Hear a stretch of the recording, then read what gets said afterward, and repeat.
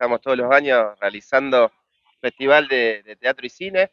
Hicimos el festival de teatro hace muy poquito, en el mes de agosto, y ahora nos estamos preparando para empezar a rodar las películas, donde cada grado va a trabajar sobre una historia que fuimos inventando. Ya estamos en la etapa final, eh, ensayando, buscando la locación y ya definiendo los vestuarios. Y bueno, en breve ya vamos a estar grabando y presentando el material en el mes de noviembre. Esto ha sido elegido todo por ellos. Sí, estuvimos viendo las temáticas, un poco en realidad primero escribimos historias eh, y entonces definimos a ver cómo aparecían algunos patrones, se decidió que el protagonista, en realidad son todos protagonistas, sea en este caso, ¿no? que el grado que nos acompaña, sea un payaso asesino.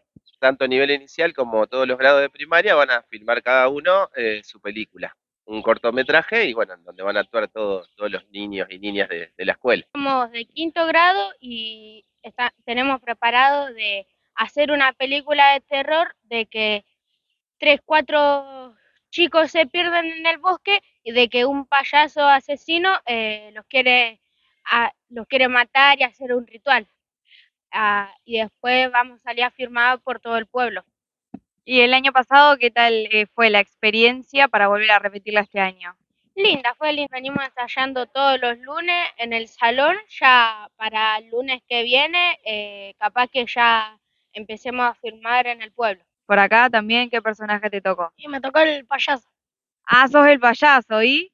Sí, me gusta bastante, sí. Sí, ¿Cómo vienen ensayando? ¿Te gusta la obra? ¿Te gusta la historia? sí está todo re lindo, está. Muy, muy bien. Aquí estamos eh, en la escena donde se hizo el crimen y aquí vamos con nuestro periodista estrella. Aquí estamos en el, con los padres de los tres chicos desaparecidos. Eh, Fue en el bosque local. De- primero presentamos al papá de Xiomara, por favor.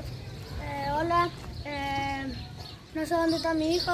Dijo que se iba a ir a tomar un helado y no apareció hoy en la noche. Espero que vuelva. A ver qué dice el papá de Luana. Yo también, yo, la, yo me dijo que iba a tomar un helado con las amigas y no, no, y no vino después. El papá por acá, tenemos el papá de Liz. de Liz. No sé, a mí me dijo que se iba con las amigas y no apareció más. Por favor, hija, aparece. Bueno, aquí tenemos un misterioso suceso. Seguiremos con la policía buscando hasta encontrarlo. Vamos, chicas, este bosque es famoso por su belleza. No sé, tiene un aire misterioso. Vamos, dale. ¿A dónde creen que van, chicas?